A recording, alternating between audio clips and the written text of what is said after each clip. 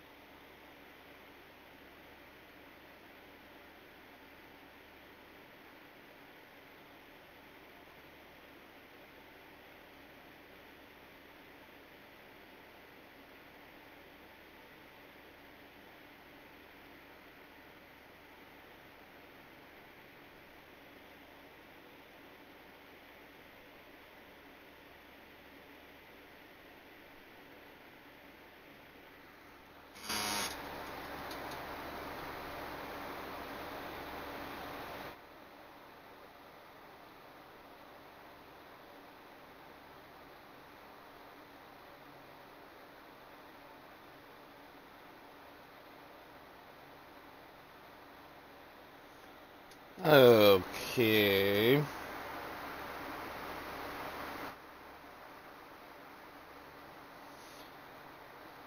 Alrighty. Well, before I get into the intro, I want to quickly thank Buddha and Glasses. I believe that's IOR Buddha, who made his debut uh, yesterday in the AGRL touring car race. But anyway, hey, what's up, everyone? Ryan Arnold, aka Demon Master, Demon Master Reviews, and welcome to the debut uh, episode of the Damaged Podcast, where I talk about everything from gaming, racing, online racing, and all that stuff, uh, music, the channel itself, and everything else in between. As I see, we have one follower or one view, one viewer. viewer. Um, but yes, I've got a lot to talk about here. Here, I want to kind of start. I wanted to start off with the racing stuff, but I want to save that for last. Let's talk about maybe say music-wise and the channel itself. As I am now writing down another thing, thing on my uh, notes to talk about. Notes to talk about. We'll save the racing for that later. But let's talk about obviously the channel. It's obviously. Um, I did kind of delay my Countless Skies retrospective, perspective. So I'm gonna be starting that hopefully, uh, really soon here. Really soon here. Um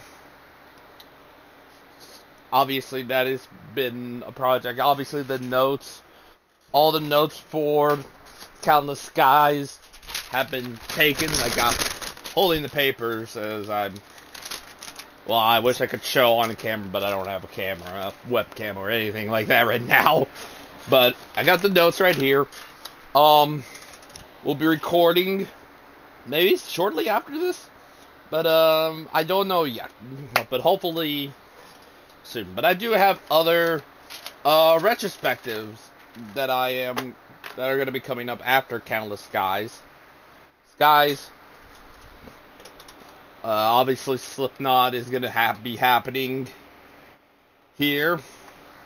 Was is going to be happening. That's the September one.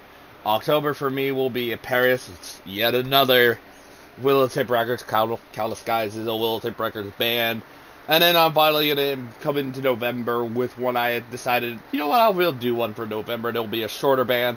That band is Corellia. I only did one album and an EP, so I figured, you know, why not do them? Do them. But that's pretty much about it. It Oh, and all these you can find on our Utreon channel, which I will leave a link in the description. If you're watching this on YouTube, I will leave a link in the description for our Utreon channel. So yeah, you can go and watch that. But um, I was originally also gonna maybe do a little mini album review on here, uh, for the new, uh, for the debut album from uh, the Halo Effect called Days of the Lost, which is a band super group featuring all former members of In Flames.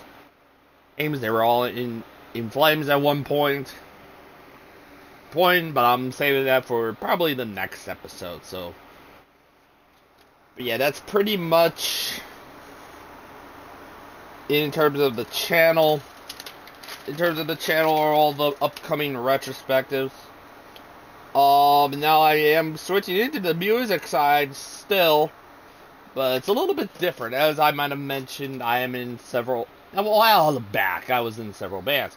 Well, I am now starting to get uh, with all my my solo band, which I which is now called the Gems of Reality, and I have been obviously I have nothing much to say. I'm trying to work on the lyrics and stuff and trying to find trying to find people for it to see if you know get some interest and stuff like that. Uh, I'll basically talk what Gems of Reality is. It's my solo kind of solo concept project slash band. Try to get some people uh, for it. But um Yeah, but yeah, that's trying to get maybe find the bassist, the, the lead guitars because I do rhythm and I do also harsh vocals. Try to find maybe a vocal or maybe have guest vocals. I obviously have guest guitar solos, guitarists, guest guitarists, guest bassists, maybe even guest drummers sometimes. But obviously have a bassist, a drummer, and a lead guitarist that are all it's the standard for me and stuff like that. At the very least, with me being the main rhythm guitar guy, a main bassist, a main drummer, and a main lead guitar player. I have artwork that I could maybe show at some point. Uh, obviously, I might do it when I get a web, you know, get a webcam and all that stuff, and all that stuff for that. But um, obviously that's I wanted to briefly touch base on that. So yeah, that's pretty much I believe off of that's pretty much everything. So let's get into the racing stuff, pretty much, and I will get we'll get into some other some gaming stuff. So let's let's start with the week. The week started with what I essentially like to call the the Larry B show. Uh, that's where Tuesday was Larry, Larry B the G entered into the DMSRA uh, street stock race.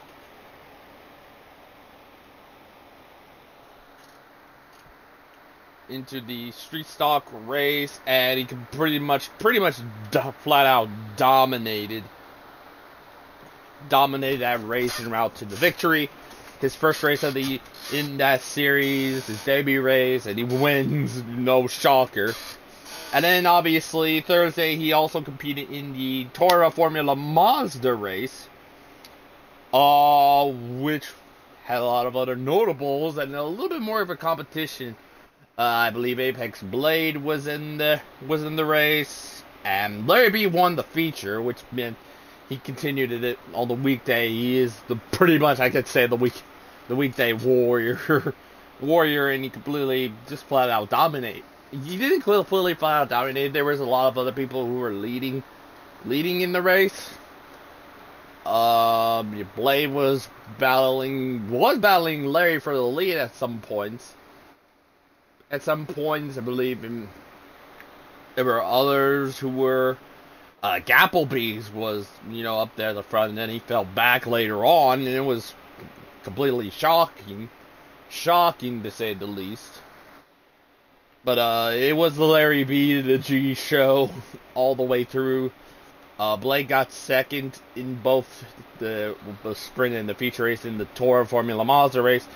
But Larry continued his domination after the momentum he had um, at uh, Lime Rock. That was the race at the the street stock race for DMSRA was at Lime Rock, and pretty much yeah.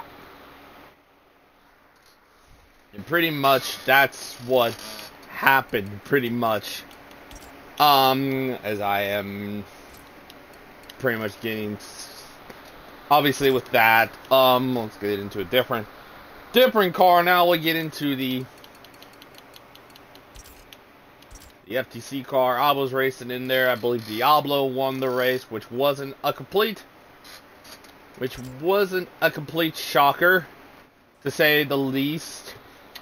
Um, I finished 15th once again. Again, there were a lot of some disconnects, but I was fairly certain I was gonna make it all the way uh, through that. That was on Saturday. Was the first Saturday race. Uh, not much to say. Wasn't that much interesting battles. Corey was battling. Corey CC97 was battling Valley, but in the end it was Diablo. Diablo was too much was too much for for Corey to try and you know handle. So that race just in and of itself was you know kind of an uneventful race, but race for me. I it was kind of interesting in the back. I was battling you know trying to stay not stay last and stuff. I didn't finish last out of everybody that was active, so I finished 15th, which was a pretty good finish. And I matched my finish from last week pretty much. But then we get to the next race after that, which would be the OEC race, the Online Endurance Championship race at Laguna Seca. It was originally going to be Le Mans, but that got changed. Changed, and the bullet points I have for this are Brett ends up leaving early or got DC'd or something. He was one of only probably a handful of people who got. I believe he was one of only two people who got the, you know, the DC in the race. And from then on, it became literally a show. Obviously, Phoenix dominated in the LMDH class, so it was not a shocker. So it's not a shocker. Not a shocker that he won. That he won. Uh, but the more interesting one was the battle for the GT lead between Scored Buffalo, Girthy Steve, and Siegel. As soon as Brett left, Girthy then took control of second and was surprisingly keeping up and catching scored.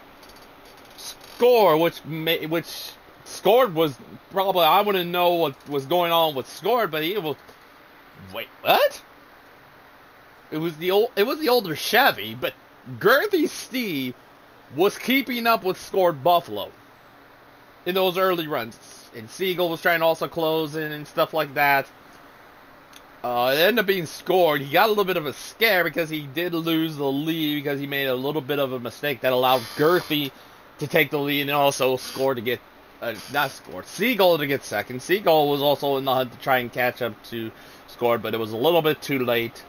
Late scored ends up getting the victory in this, in the GT class.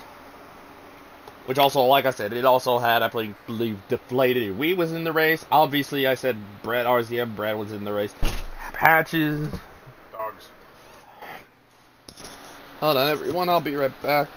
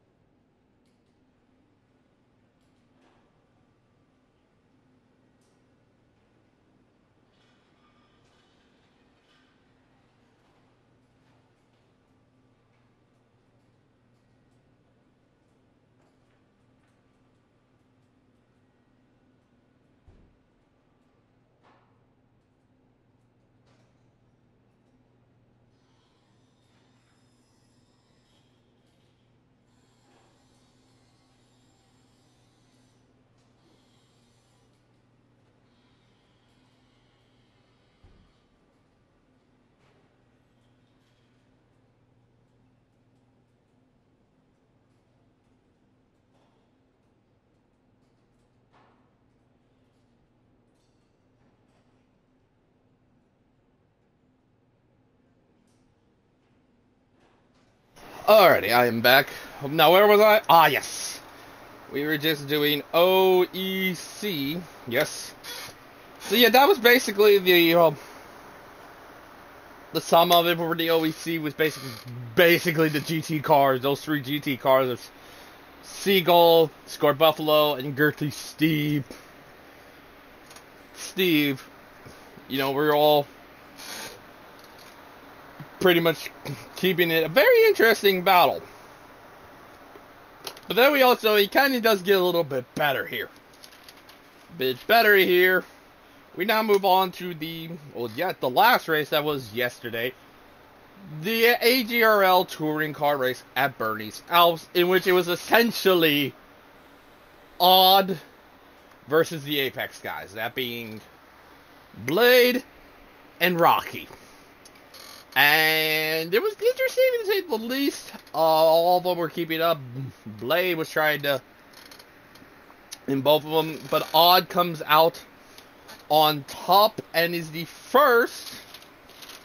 Yes, he is the first in the AGRL Touring Car Series to sweep the sprint and feature race. He won last week he does it again, but in such dominant fashion. Although there were some scares here there from Blade and Rocky. Rocky, not so much Icon Gaming and IOR Buddha, who I will say thank y'all for the follow. But it was mainly the main competition for uh, was basically the Apex guys, and they made it an interesting thing. The other thing I wanted to mention is in the feature, obviously Odd started in last and he got up to first near the off of lap one. Then we had different some different leaders, some on different strategies and stuff like that. And stuff like that. That but the most interesting thing was Rocky and Blade saw what Odd was doing, but it didn't really pan out. They went to the back for some odd reason, just to try and make it interesting, but it wasn't. But it uh, wasn't enough, and essentially, yeah, Odd came out with the victory in both the sprint and feature, being the first to do so. But I doubt he'll be the last if this series continues. He is essentially he has emerged as pretty much the championship favorite in this race, in this series, and I wouldn't be surprised if he wins it, wins the championship at this point. But I want to also get into something else when the when it comes to the in the in the racing stuff is I want to start my own. And this gets to obviously this car right here, and then we'll get to that this car right here. Uh, I'm starting my own kind of a league or association called the Damaging Racing Championship Association, and I have essentially come up with three series, an open wheel, an open wheel series, a NASCAR series, and an endurance series. And I will start. Obviously, I want to start off with the open wheel one that I am that I thought of. I thought, well, why not try this? And this is going to be a multi-class open wheel series, meaning different I, sticking to the modern cars, which would be the modern F1, which is the Renault RS17, at least in the game. This one's going to be happening sooner, probably than the NASCAR one too. So I'll get to that one. Um, but I do have the uh, the cars here. Yes, pretty much the Renault RS17 is the F1 car. All the Indy cars, even the 2017 versions, are available. The Formula Mazda and the Formula Ford, and I will have specific tunings for that. Uh, the other series I am going to do, and hopefully might be starting alongside the open wheel one, is, and I have this idea from seeing that the DMSRA guys have the 60s and 70s, blah, blah, why not go a little bit further? Why not the 40s and 50s? And the cars that I chose for this is the 1940 Ford Coupe, the 1949 Mercury Coupe, and the 1955 Chevy Sedan. Dan, and still trying to work out the races for all of them. Some might be sharing day, sharing track. Well, not so much. Not so much in certain tracks, you know. The 40s and 50s cars are going to probably be, obviously, the Oval, so that being at the Indy, Daytona, Homestead, even the road course versions I will have on the schedule for the NASCAR. So all the road course versions, the, the 24 hours, the, the 24 hour track for Daytona, uh, yes, the GP track for Indy, and then probably the road circuit. Probably the alt version where you have it turns three and four are intact. That might be the one. So that's six. I am trying to probably include Glen and Sonoma, so that's already eight. So that's already eight. I'm trying to think of. There won't be any playoffs. I will still try to think of the point system. But the other one that I have wanted to that I wanted to mention here is the endurance one. And I want to work closely with Torah on this one. Speak to those the guys in the Torah thing. Um which is basically it's called the Ultimate Endurance Series, and it, it comes down to this card that you're seeing right here, the Porsche RS Spyder Evo, the 2008 one this is essentially kind of a team-based uh, endurance version of IROC, where you have one universal spec car, you know, being in, you know, normal homologation tuning, which you can see it is currently at 949, which is right in the middle of trying to find a car that's, you know, roughly in the, the between 901 and 998, but not going 999. So I thought, okay, this one makes complete sense you know, 949. Pretty much uh, makes sense, essentially. It kind of makes sense because it is right in the middle of both 901 and 998. Well, wait, so this will essentially be the card. All the things you're seeing are what it is. Um, essentially, this will be probably an invite only invite only at least in the first at least the first season. I'm trying to get some teams together. I have a few I have a list of those. If I can find the list. Ah, here it is. What I got here so far is basically the stints are gonna be depending on it. I don't know when if Tor is gonna continue the endurance thing, but if it does not, this idea will be scrapped. But what I have here is I got a few notes one hour stints. Um, and you go all the way, basically. Um, and basically where you are is and the basically you go all the way until the timer hits zero basically all zeros all zeros the one thing that i have is wherever you finish in the stint, it carries over to the next stint. It carries over to the next stint. And it will be all full fledged ones, basically. Let's say if it's Daytona, usually it's a 24 hour race. It'll be 12 instead. It'll be 12 instead. And we'll have 12 stints, all one hour. Hour, essentially at basically let's say I got a few let's go with my team. My team wins stint one, we're gonna start first in the road. Not that it's possible, though, just going with my team. My team is in it, so I wanted to stay safe.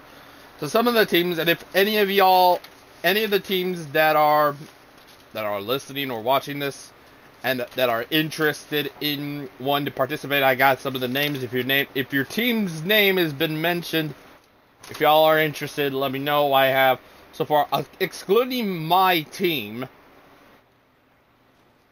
Apex, McLeod Racing Team, Shockwave Racing. I don't know what the initial what it, these stand for, but SDVT from OEC, IFEA, uh, FTC, AX4X, NWR, uh, DMS, uh, Tempest Motorsports, and Raven Racing. Yes, my former team. I would definitely at some point, I would definitely invite them. But those are all the teams I have so far on the list. List. Um, well, obviously, I want to have 20, but then obviously the next season, if it's even continues, it'll probably be on FM8. Only the top 10 would be guaranteed. Top 10 in points, and yes, there are points for this. So I will rattle off the points here. Uh, obviously, I made this in a way of. First, what I did was I structured it in a way of doing this. So the bottom four are separated by one point, so that's 17 to 20. 13 to 16 is separated by two points. 9 to 12 is separated by three points. 5 to 8 is separated by 4 points, and 1 to 4 are separated by 5 points. And then I took those and multiplied them by 12. 12, and then I divided them by 2. So the point system is as follows. First, 360 points. Second, 330 points. Third, 300 points. Fourth, 270 points. Fifth, 240 points. Sixth, 216 points. Seventh, 192 points. Eighth, 168 points. Ninth, 144 points. Tenth, 126 points. Eleventh, 108 points. Twelfth, 90 points. Thirteenth, 72 points. Fourteenth, 60 points. Fifteenth, 48 points. 16th, 36 points. Uh, 17th, 24 points. 18th, 18 points. Uh, 19th, 12 points. And 20th, 6 points. That is the official, at least the official point system in term in place for this. So that is pretty much all I want to talk about. It's been over, now over 30 minutes or so. Or so, but I guess I will talk about my the racing schedule for my schedule for my upcoming schedule for racing and what I will be what will happen. So I have in terms of those that I'm going to be racing with, and these are going to be it for me in some of these leagues. Uh, the ones I'm racing in so far, we got, um, I got at least five leagues in here. So Wednesdays, uh, the DMSRA late models, they're qualifying in duels.